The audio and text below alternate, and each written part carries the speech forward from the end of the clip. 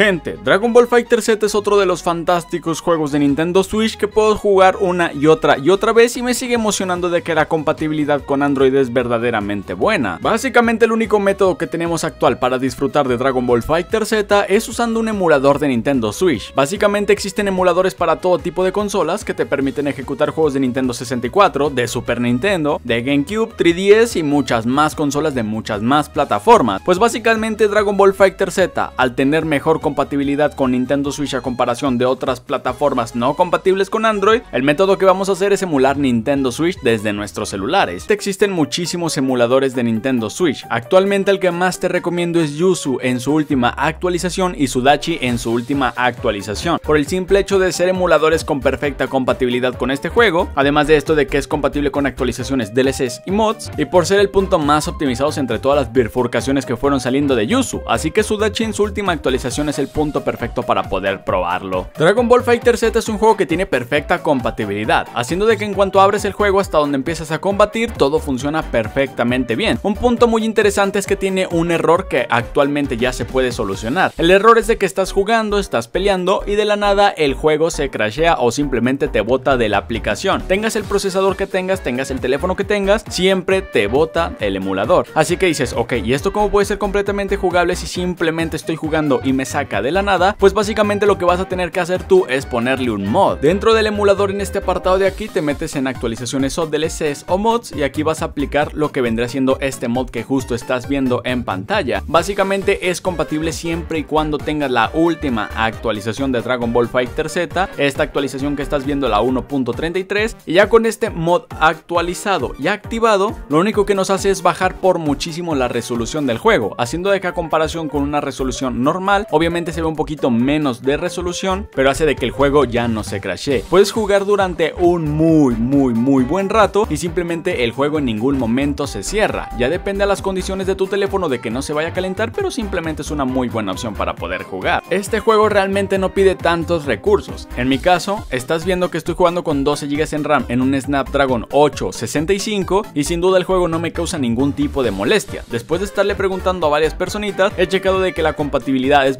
verdaderamente buena que con tan solamente 6 GB en RAM y un procesador Snapdragon decente te puede funcionar de muy buena forma. Lo que yo te voy a recomendar es de que nada más no dejes calentar mucho tu dispositivo si ves de que estás jugando y a la tercera partida ya se calentó tu dispositivo, simplemente cierra el juego, espera que tu dispositivo se enfríe y vuelve a probarlo si es que cumples con los requisitos, porque entre menos recursos tengas más le va a exigir a tu celular, haciendo de que se pueda calentar mucho más tu dispositivo. Es completamente jugable, todos los modos funcionan perfectamente bien y en todo momento corre a 60 FPS, así que no hay ningún tipo de pierde y si le conectas un control sin duda Dragon Ball Fighter Z se puede disfrutar de muy buena forma. Sin duda emular Switch es una alternativa muy perfecta para ejecutar este tipo de juegos y Dragon Ball Fighter Z a comparación de otras consolas en Nintendo Switch se puede disfrutar de muy buena forma, haciendo de que realmente no necesitemos un emulador directamente de PC, de Xbox o otra consola secundaria que tenga compatibilidad con este juego, simplemente desde Nintendo Switch hace que la compatibilidad sea muy accesible a dispositivos celulares.